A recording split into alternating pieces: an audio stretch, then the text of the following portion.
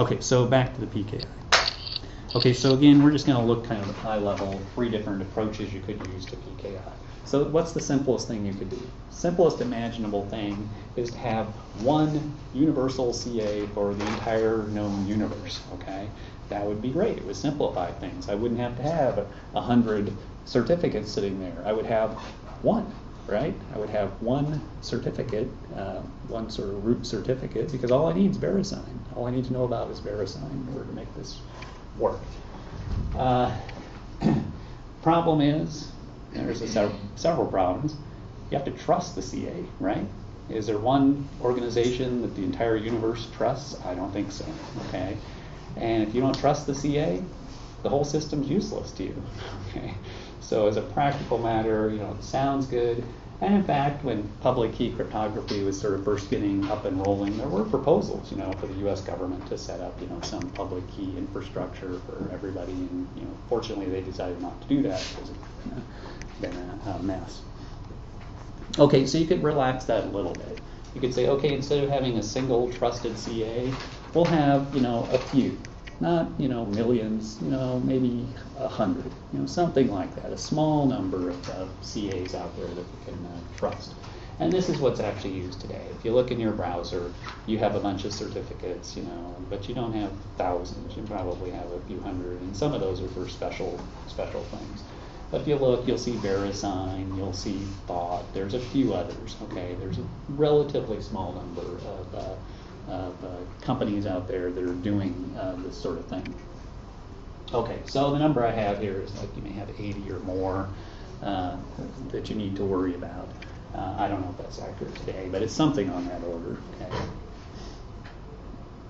Okay, and again, the user gets to decide.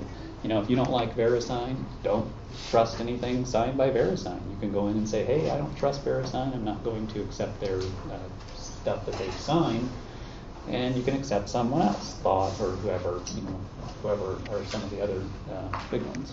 Okay. Okay. Well, if we could have a, we could have one, or we could have a few, or we could have Everyone. a lot. Okay. Right. Let's just make everybody a CA. Why not? Everybody can be a CA. Well, let's call that the anarchy model.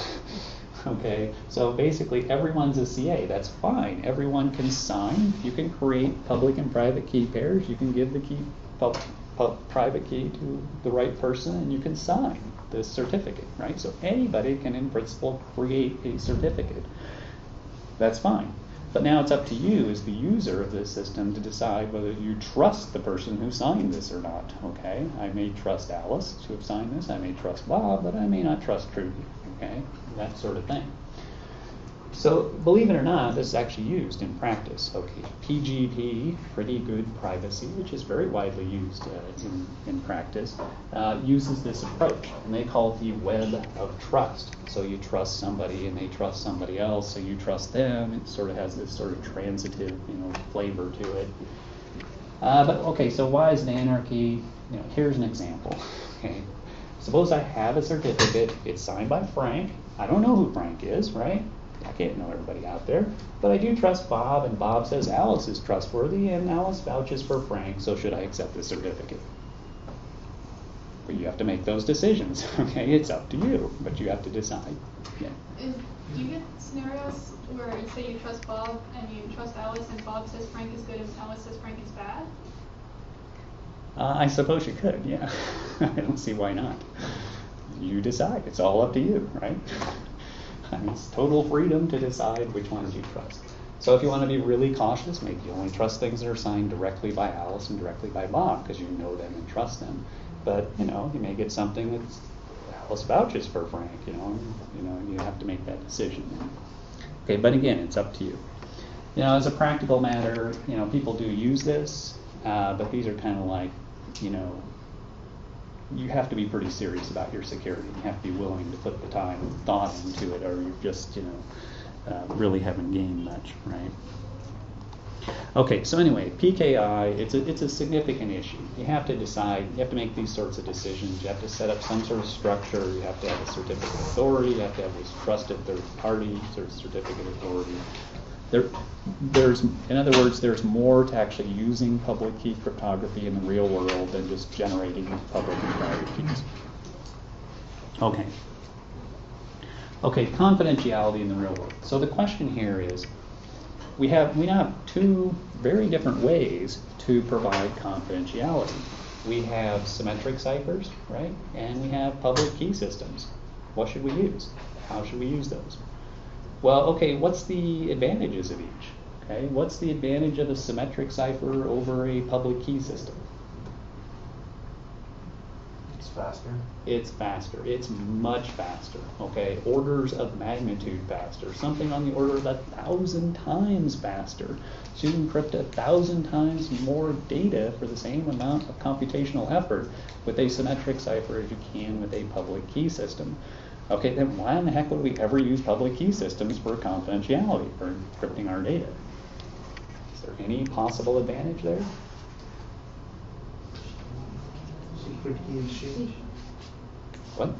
On the key exchange. Uh, key, key exchange, okay, we don't have secret keys, we have symmetric keys, and we have public and private keys, because secret keys kind of ambiguous here. Okay, right, because you do get some advantages with public keys, okay, you don't have this key distribution problem, okay, you don't have to trust John Walker to go and distribute the keys for you. Still do have a PKI, so it's an issue, but it's, uh, once that's set up, you can exchange all the symmetric keys you want. So, okay, so the big benefit of symmetric keys is speed.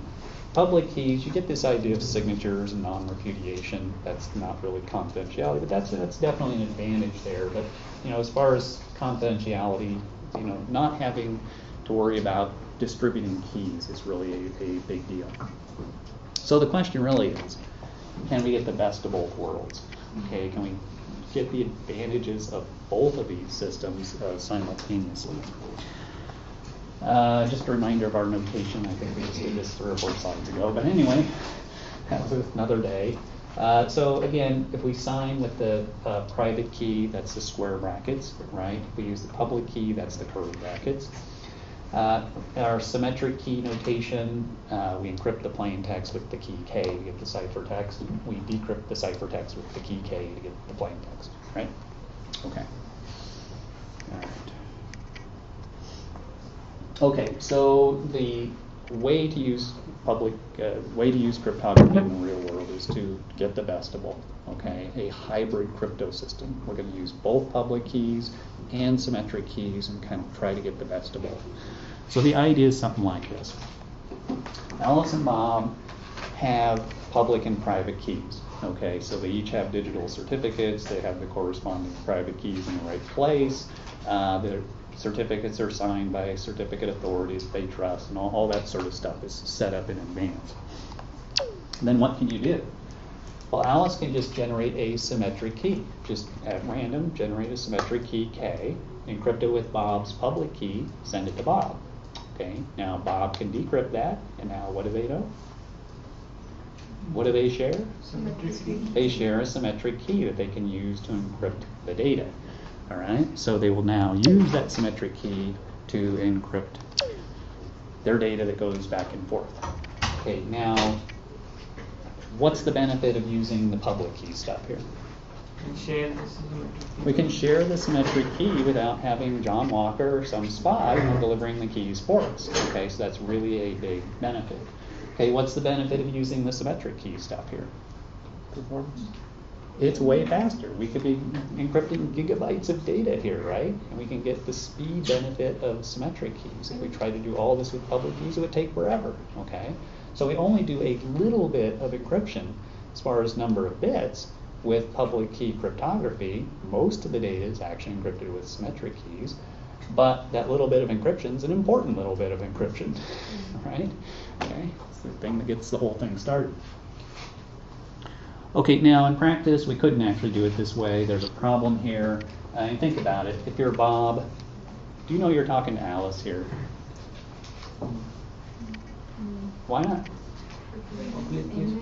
Because public keys are public. There you go. Okay, this guy's ready for the test already. Okay, so yeah, because anybody could do this, right? You could put Trudy here. Trudy knows Bob's public key. She could encrypt that and say, "Hey, uh, I'm Alice. You know, send me all your secret information." When he does, you know, your your host. Okay, so we've got to do something more here to be sure we're talking to Alice before we start encrypting our data, okay? And that's chapters nine and ten, so it'll be a little while before we get to that, but there's more to do here. But in, but the idea, the concept is this, okay? Get the benefits of both the public keys and the symmetric keys.